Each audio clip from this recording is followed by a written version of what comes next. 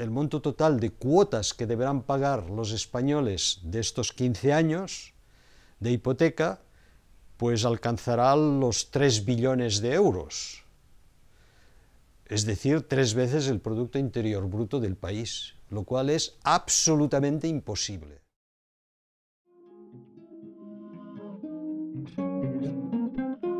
Lo que se acordó ayer fue una apertura de una línea de crédito para nuestro sistema financiero.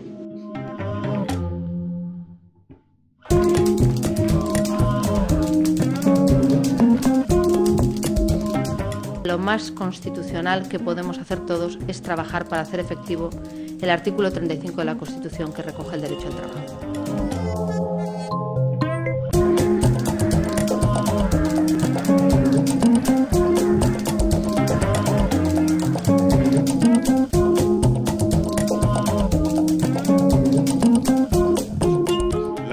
Presupuestaria en el medio y largo plazo en relación tanto con el déficit estructural como con la deuda.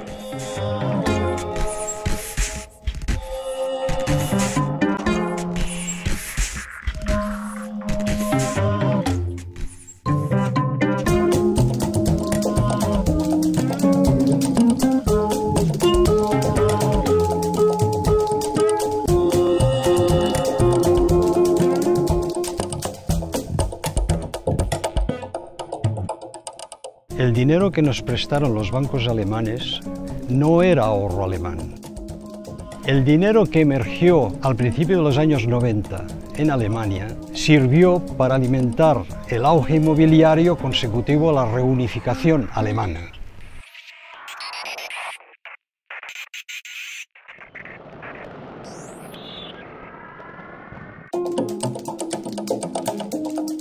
Este dinero no fue devuelto a sus acreedores una vez terminado el auge y vendidas las viviendas. Fue cambiado al euro y prestado por los bancos alemanes a los países del sur.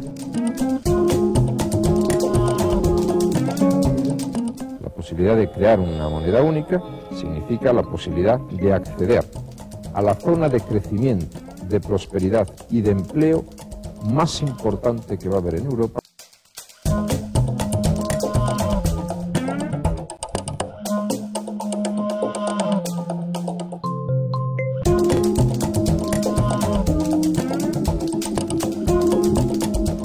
El gobierno no estaba demasiado interesado en regular el mercado inmobiliario. De haberlo hecho, se habría privado de ampliar su base tributaria.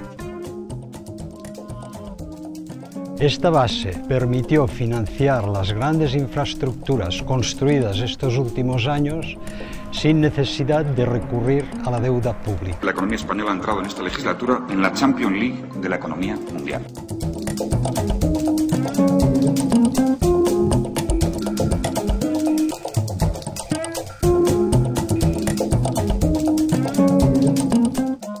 Situación es difícil y sería insensato ocultarlo.